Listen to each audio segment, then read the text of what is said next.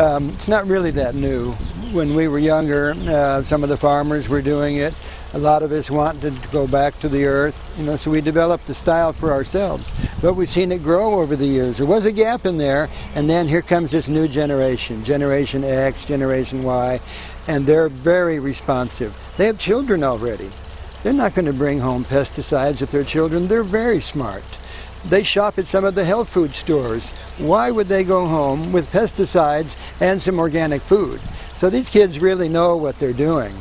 And uh, what they're doing is leading the way. There are many of them in groups, small farms, co-ops, um, community gardens. They're all learning from each other. And as they learn, they practice these things at home. They have some beautiful gardens, a tremendous amount of produce that they feel is safe and is fresh because they grew it in their yard. And there are many things besides organics that have these people out there gardening fresh food, locally grown, and grown organically.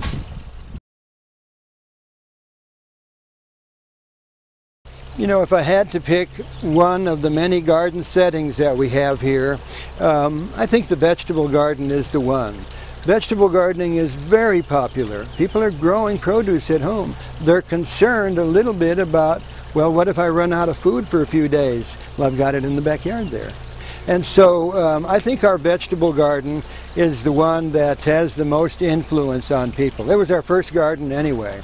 So there are classes out there. 300 showed up at the last one. Uh, that's a lot. I was expecting 50, 60 people, and here come 300. And that's an indicator of the interest in growing vegetables at home.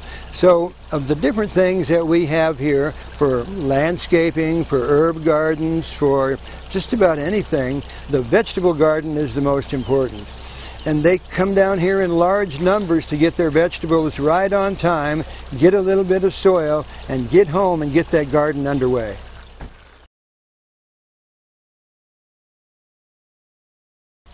Education isn't just a vegetable garden.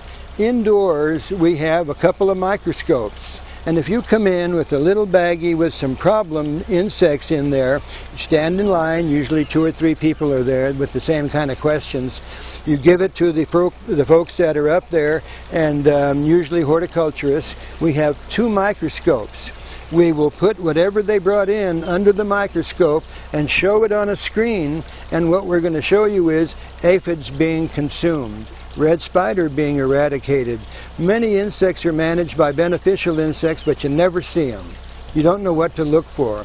And so once you look into the microscope and see what's going on, you change.